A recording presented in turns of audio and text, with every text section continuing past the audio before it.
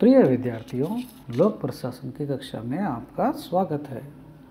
हम लोग ब्रिटिश संसदीय प्रणाली के बारे में पढ़ रहे थे। इसके तहत हम लोगों ने ब्रिटिश संसदीय प्रणाली की विशेषताओं और उसके लाभों या गुणों के बारे में पढ़ लिया है। आज हम ब्रिटिश संसदीय प्रणाली के दोष या हानियाँ क्या हो सकती है, उसके बारे में देखेंगे। ब्रिटिश संसदीय प्रणाली के दोष या हानियाँ जो हैं, उनको आज हम निम्नांकित बिंदुओं के माध्यम से अध्ययन करने का प्रयास करेंगे। पहली जो दोष या हानि है, वो है शक्ति पृथककरण के सिद्धांत के विरुद्ध। क्या मतलब है इस बात का? कि शक्ति जो है, वो मनुष्य को निरंकुश बनाती है।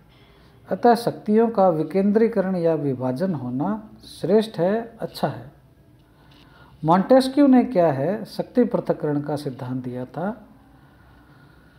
उन्होंने व्यक्ति की स्वतंत्रता को सुनिश्चित करने के क्रम में यह प्रतिपादित किया था, परंतु संसदीय लोकतंत्र में विधायिका, कार्यपालिका, न्यायपालिका जो है वो पूर्णतः पृथक होने के बजाय एक ही स्थान पर क्या है, केंद्रित दिखाई देती है।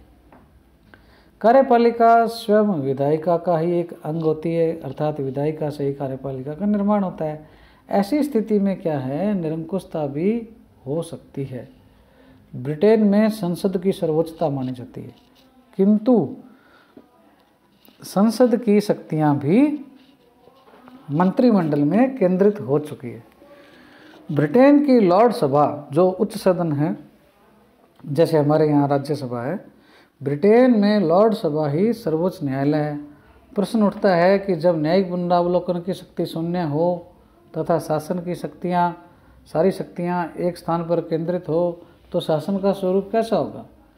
यद्यपि ब्रिटेन में कई दशकों से इस संबंध में बड़ा विवाद भी कोई सामने नहीं आया तथापि यह एक अवगुण है जो केवल अंग्रेज़ों की समझ बूझ तथा व्यवहारिकता से क्या है, ढका पड़ा है। तो ये क्या है, संसदात्मक व्यवस्था जो है, उसमें क्या है, शक्ति पृथककरण के सिद्धांत का पालन नहीं होता है। दूसरा जो दोष है, वो है दलीय शासन। संसदीय प्रणाली में जहाँ एक और योग्य व अनुभवी मंत्रियों की मंत्रिमंडल में सदस्यता की संभावना रहती है वहीं दूसरी ओर दलीय शासन के कारण धूर्त, चालाक तथा अवसरवादी राजनेता भी सरकार में आ जाते हैं। विशुद्ध रूप से राजनीतिक मान्यताओं पर आधारित इस शासन व्यवस्था में राजनीतिक संकीर्णताएँ स्पष्ट हो जाती है या स्पष्ट रूप से सामने आ जाती है। जो सत्ताधारी दल या दलों द्वारा लूट के माल को बांटने की जो परंपरा है, उसका क्या है? निर्वहन करती है। भारत में एक दर्जन से भी अधिक राजनीतिक दलों की गठबंधन सरकारों के समय लोकतंत्र महज एक तमाशा बन गया है। क्योंकि जिनके विरुद्ध चुनाव लड़ा जाता है, सत्ता में उन्हीं के हाथों से क्या है, मिलाना पड़ता हाथ। ब्रिटेन में यद्यपि द्विदलीय राजनीति है, फिर भी दलीय राजनीति के स्पष्ट प्रभाव क्या है दिखाई देते हैं। बहुधा विपक्षी दल शासकीय कार्यों में अरुचि भी प्रकट करते रहते हैं। तो इस प्रकार से क्या है दलगत जो शासन है, वो भी एक इसकी कमी है? तीसरी जो इसकी कमी है या हानि है, वो है व्यवस्थापिक व्यवस्थापिका की शक्तियों का पतन। संसदीय लोकतंत्र की यह एक गंभीर समस्या है, क्योंकि जन भावनाओं का सामूहिक प्रतिनिधित्व करने वाली संस्था अर्थात व्यवस्थापक की शक्तियों का तुलनात्मक रूप से क्या है? बहुत ज़्यादा ह्रास हुआ है। सन 1825 में लॉर्ड ब्राइस ने एक पुस्तक लिखी थी। उसका नाम था मॉडर्न डेमोक्रेसीज। उसमें उन्होंने क्या है, यह सवाल उठाया कि क्या विधायकों का, विधायिकाओं का क्या पतन हो रहा है? भारत और ब्रिटेन के अनुभवों ने इस तथ्य को प्रमाणित कर दिया है कि कार्यपालिका की बढ़ती शक्तियों ने विधायिका की भूमिका को क्या है? गौण कर दिया है।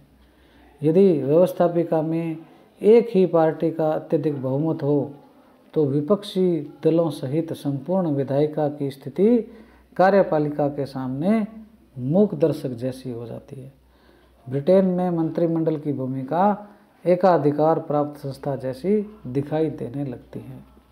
तो इस प्रकार से क्या है? पूर्ण बहुमत की सरकार जब हो और विपक्ष बिल्कुल अल्प मात्रा में हो तो उस स्थिति में व्यवस्थापिका की शक्तियों का पतन हो जाता है। व्यवस्थापिका की शक्तियों का प्रबलीकरण विपक्ष के प्रबल होने पर ही होता है। विपक्ष प्रबल नहीं होगा तो व्यवस्थापिका की शक्तियाँ भी न्यून या गौण हो जाएगी। अगला दोष या हानि है, वो है राष्ट्रीय हितों की अवहेलना। संसदीय व्यवस्था का एक दोष यह भी है कि इसमें राजनीतिक दलों की मानसिकता हमेशा दलीय नीतियों को आगे बढ़ाने तथा उनके हितों के संवर्धन में सहायक वाद विवाद करने की रहती है। फिर चाहे राष्ट्रीय महत्व को तिलांजलि ही क्यों न देनी पड़े। लॉर्ड ब्राइस के अनुसार इस प्रणाली में दलीय भावना बढ़ती है और हमेशा तीव्र बनी रहती है। ज़्यादातर देखा जाता है कि सरकार की गलत नीति का सत्ता पक्ष के सदस्य सत्ता पक्ष के सदस्य, इसलिए विरोध नहीं कर पाते कि वे दलीय अनुशासन से क्या है, जुड़े रहते हैं। भारत में निरक्षरता का मामला हो, गरीबी, जनसंख्या का अधिक अर्थात बढ़ती जनसंख्या, शोषण, बेरोजगारी तथा भ्रष्टाचार जैसी राष्ट्रीय ज्वलन समस्याएँ जो हैं, उनके समाधान के लिए कारगर नीति अभी तक इसलिए नहीं बन पाई है या सफल नहीं हो पाई है क्योंकि कोई दल दूसरे दल की सफलता का श्रेय देना नहीं चाहता। तो इस प्रकार से क्या है? राष्ट्रीय हितों की अवहेलना भी इसमें देखी जाती है। अगला जो दोष है वो है निर्बल तथा अस्थिर शासन। संसदीय प्रणाली में वास्तविक कार्यपालिका के पास क्या है? बहुमत तथा सदन का विश्वास होना ज़रूरी है। नहीं तो क्या है? सरकार का पतन क्या है? सुनिश्चित है। त्रिशंकु विधायिका या किसी भी दल को स्पष्ट बहुमत न मिले, उस स्थिति में संसदीय प्रणाली का ये जो दोष है, वो बड़ा ही उजागर होता है। भारत में पिछले कई दशकों से क्या है, गठबंधन सरकारों का दौर रहा और उस वक्त ये प्रश्न भी खड़ा हुआ कि क्यों ना हमारे यहाँ पे भी क्या है, अध्यक्षीय शासन प्रणाली अपना लिया जाए। संसदीय प्रणाली की कमियाँ बड़ी विचित्र है। यदि एक दल अधिक बहुमत में आता है तो वह निरंकुश वास्तविक कार्यपालिका का निर्माण कर सकता है। यदि बहुमत के आसपास रहता है तो कुछ सदस्यों द्वारा दल छोड़ने की आशंका बनी रहती है।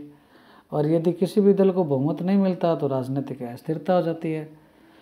इस प्रकार से मंत्रिमंडल द्वारा विधायिका को भंग करने की अनुशंसा वह हथियार है जो विधायिका को सदैव क्या है, भयाक्रांत या डरा हुआ बनाए रखती है। तो